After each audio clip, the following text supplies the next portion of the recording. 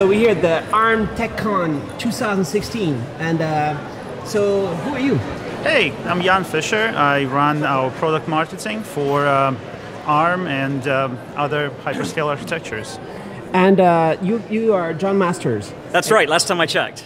Yeah, and uh, and you're going to do a keynote. I am going to do a keynote. Hopefully, it's going to be a good keynote. Um, so I'm chief ARM architect at Red Hat, um, and uh, see, we uh, we have these fabulous banners this year uh, which Yan pays for with marketing dollars, which is amazing. And I plan to steal this banner right after we're done and take it home, like I did with last year's banner. What did you do with last year's banner? It's uh, happily sitting in my bedroom at home, and uh, people wonder, you know, why do you have a giant Red Hat banner? And um, I don't know, but I'll have two giant Red Hat banners Talking pretty soon. about drinking our own Kool-Aid. There we go. Yeah, exactly. She's perfect at Exactly. Yeah. and uh, it makes you uh, dream even bigger at night.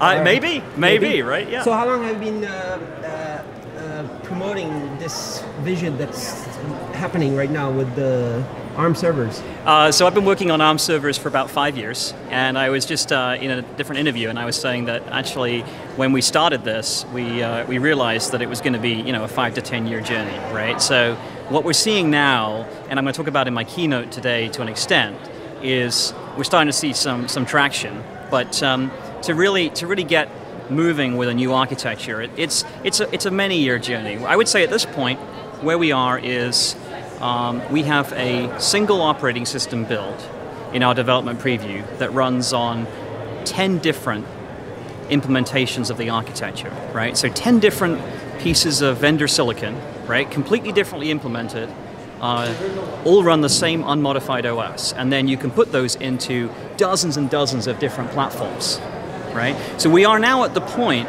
I, part of me wishes we'd been here a while ago, but we are where we where we, uh, where we want to be in terms of the ability to run the same OS on many, many different vendors. And we are poised now, I would say, over the next 12 months to start to see a lot more adoption of ARM servers as some of the bigger players start to come to market, as we start to see the big OEMs taking a lot more interest in the enterprise space. So you envision uh, uh, this ARM servers market to be uh, potentially very, very big, right? And you're playing a big role in there. We're absolutely trying to stay in, in alignment with uh, what our customers are asking us to do. And we have had people asking for ARM uh, by name. Uh, they have strategies for alternative architectures. They have uh, been interested in exploring more of um, ARM designs, and we are supporting them in their desire to uh, have heterogeneous uh, data center infrastructure. As well as you know, with uh, with our development preview, we keep adding features. Um, we enabling um, major technologies like virtualization. We're looking into uh, providing newer tools with um, our operating system, while it's still staying in development preview. So ARM were saying last year, they were saying 2020, uh, how many percent? 20%? They of said the 20%. 20%, right? It could even be higher, yeah. yeah. Could be higher? Yeah. So what's the what's the click that's going to happen that suddenly everybody's using ARM servers? I would say there's three things happening. I would say the first thing is um, if you look at where the growth is in the market, you've got a lot of emerging players in Asia right now, in APAC, um, that are looking for an alternative architecture, and some of it's driven by government mandates and so on. Um, they're looking to say, um, I want to have an alternative. I'm, I'm very uh, in favor of choice. This is, this is their view. And, uh, and so they are driving a lot of interest in, in the growth of ARM. Number two, you've got the hyperscalers in the US and elsewhere, the big guys that say, you know what, um, if I can save 20 or 30 percent in my OPEX or my CAPEX, then I'll take a serious look at this. Yes, it's energy efficient, but I'm willing to, uh, to, to, to, have the, uh, the, the, benefits I can get from having uh, alternative suppliers. Um, and then when you look at kind of the, the way that the industry is going, the way that the different technologies are going, you know, we've, we've kind of run out of the, the, the, the cheap process innovations we've seen, right? So you know, we went from you know 90 nanometer down to 65 nanometer down to you know um, the last couple of years we've been down at kind of the, the 28, 22. We're at the uh, 14 FinFET kind of stage now, but it's getting much much harder to uh, pack those transistors more tightly. Um, and there are certain inherent limits that are coming in the next couple of years. And so nobody has a magic wand that can uh, magically make the laws of physics go away. And so what that means is there's an opportunity here for ARM to say, okay, well, the other guys are not just going to get a faster chip every year. There's an opportunity here to come in with an alternative and be successful. And so the other thing that's happening in, in, in hand in hand with this is a transition towards using workload acceleration. Uh, so we've seen a lot of involvement uh, within Red Hat in terms of um, uh, working with the work groups that are building out uh, coherent interconnects, uh, new memory fabrics, new frameworks for interfacing with workload acceleration. Uh, so all these pieces are going to come together. It's not one thing. It's going to be um, the changing workloads, the ability for ARM to come in and disrupt the existing model because Moore's law is basically dead, let's be honest about it. Um, you've got a lot of interest from the hyperscalers to see alternative choices, and you've got kind of a Chinese government mandate to go and do something different as well. And uh, the chip makers in there, uh, like uh, Applied Micro and uh, Cavium, yeah. they had kind of first, second generation chips. Yeah. where the, it's it's a long process to make a chip, and now they're getting to let's say X-Gene 3 and uh, ThunderX2 is pretty cool, right? That's right. That's right. It's one of these things where uh, the first generation is, is I, I, don't, I don't like to call them pipe cleaners exactly, but um, you know, you, never kind of get your moon landing with the first generation because you go and do a first generation in order to get people's interest. They start looking at these things and start saying, okay, well, maybe this will be credible when I get to the next one. But what they want to see is they want to see a pipeline. They want to say there's a roadmap, there's a future. So I'm going to pick this vendor and I'm going to say, okay, this vendor has a roadmap. The reason that these guys announce Generation 2 when they're in Gen 1 is they want the others to say, oh, okay, if I choose this, there's a future for me, right? And the reason that we as a company have been doing these development preview releases, um, several of them now, is we want people to see that we are interested in this for the long term. So we're not yet releasing a supported product, and the reason for that is that we're waiting for you know some of the big tier ones to come along. We're waiting for some of the uh, traditional kind of enterprise uh, market pieces to come together before we can get into that space. But we're ready to go when the customers um, are asking for us to, to, to, to go there.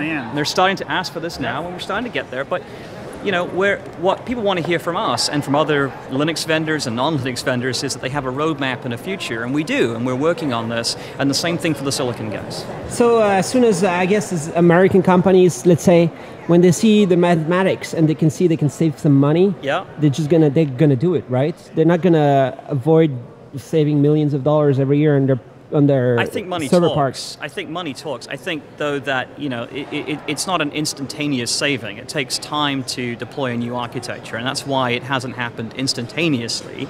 Um, that's why we've been doing this for five years. But because we've been doing it for five years, we are now at the point where if somebody comes along with a credible offering, and they have, and they are, um, and people do the numbers and say, okay, I'm going to save millions of dollars by, by using that, um, then it's going to drive competition in a good way. And by the way, we don't prefer any one architecture vendor. Now, I personally am a big ARM fanboy. I think people know that, but um, we also have people that are you know big fans of other architectures inside Red Hat, and Red Hat is a very neutral company. Yeah, right? since we're rooted in uh, open source. Um, we technically don't prefer not just any specific chip maker or any specific um, architecture. We want to build from a common core that is upstream, and we want to apply it across different architectures, um, across the board, across the variety of the systems that exist, and, and the more systems that we can support with a single, um, um, single, singular operating system, single uh, distribution, if you will, the better it is for the market, the better it is for customers, the better it is for upstream.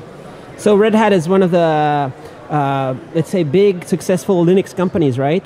We uh, are the biggest successful Linux company, if you yeah. will. Yes. Yeah. We have to admit to that. So, yeah, I think that's a true statement. so uh, the way the way that it works uh, at Red Hat is uh, companies come and say, "Hey, can you help us?" and then you help them to make it real. How does it work? So we started a partner early access program um, about three years ago. That's what actually was the foundation of us building the, uh, Red Hat Enterprise Linux Server Farm, and the, the one that we have in the development preview right now. We are co cooperating. We have been working with the silicon vendors, with actually with ARM directly, and also our OEMs and ODMs in designing uh, the operating system that runs across a variety of uh, their designs and, and, their implementations of the uh, ARMv8 um, architecture. And at uh, Linaro, lots of stuff's been happening over the last years. And, That's right. Uh, it's it's a cool bunch of guys, right? It And is. It's, it's fun to work. It it is. We, we actually just renewed our membership in the Linaro Enterprise Group, which is uh, a, a collaboration between all these different companies to accelerate ARM in the enterprise. We also doubled And- down and Yeah. went and went into uh, Linaro Enterprise IoT Group, uh, Light. So Because now- uh, yeah. did you see the keynote uh, when Masayoshi-san said one trillion uh, uh, ARM CPUs, Yes. one trillion IoT devices, right? So- they need servers. they do. They need gateways. So the thing that we're very, very uh, bullish on is ARM in terms of infrastructure, in terms of uh, telco infrastructure. So NFV. I was speaking at TechCon here about OPNFV, the Open Platform for Network Function Virtualization. It's a tongue twister. There's a lot of acronyms and buzzwords in NFV, and I tried to explain what they all are and kind of how, how we're working with ARM and Linaro and other groups like OPNFV project as part of Linux Foundation to accelerate those pieces. So we need the, the telco story, the, the, the, the CSP, the communication service provider story that they can deploy NFV infrastructure, which also expands to the edge, right? Yes. To the gateways that are near the customer, because in 5G networks, you know, there's so much data moving around, you can't just centralize it all kind of in a back office. The next wave of IoT will most likely be running right over that 5G networks, and, Yes. and therefore there is a direct connection between what's what's happening in the telco world and in the entire rehaul of their infrastructure, and what's happening uh, in the IoT world, and that's why there is a very strong connection. And Masa-san definitely see, sees it in the right way. It is an explosion of sorts. I don't know if it's Cambrian Cambrian, yeah, explosion, right, right. but it certainly is an explosion, and we we also there. I mean the unique position that we are in, uh, I think, from our perspective, from Red Hat, is that we can bring some order to, um, you know, the, the, the existing ecosystems that may have not been uh, standardized, may have not been looked upon as in, in need of standardization. Yeah. We're doing it very well in the enterprise world. Even in, using the Linaro example, we brought, um, you know, uh, some order into LEG, so to speak. Uh, we brought our designs uh, together, help with um, specification and standards, and I think we can have the same influence in IoT, and that's that's our goal. We we would probably look at um, you know gateways and up in terms of that ecosystem, but it certainly is in need of um, having some standards set. And let me use an example, to, right? help everyone. Yes, yeah, let me use an example from last week. So last Friday, we had a, in the U.S. we had a, in particular we had a major outage of a lot of uh, different companies that provide services to, to people, of right? yeah. It was a distributed denial of service attack, right? DDoS attack, and it was done against DNS infrastructure that that was uh, being used by these services to resolve, you know, their their names on the internet, but the way it happened was um, by exploiting uh, insecure uh, and openly accessible IoT devices and embedded devices that Right. people had in their homes. And, which there are billions and, of. and yeah, billions now. And yeah, now millions. imagine, right, every light bulb, if every light bulb has an IP address, right, and every light bulb becomes a, a, Every a, a, light bulb a has target. an opinion about giving light. Yeah. we have a problem. We have a problem, right? So, so, so, so what we need to do, the reason why, one reason that I think we, we can really help as a company is that we believe in standardization and we believe in having, uh, you know, industry standard platforms so that if you're building a gateway that's going to provide the secure interface to a lot of devices over time, what you want to do is you, you don't want to build this as kind of a hacked up embedded thing that has no future and no security updates and some custom board support package running on it and all this stuff. What you want is to have a standard platform on which you can run standard software. If you don't like our software, our software is great, but if you don't like our software, then run somebody else's software. But let's have a standard platform so you can get security updates and you can handle this over time because you're going to deploy this infrastructure. It's going to live for decades. And, uh, and that does not scale if you are saying, here's my kind of hacked up custom embedded solution that I built last week in my garage.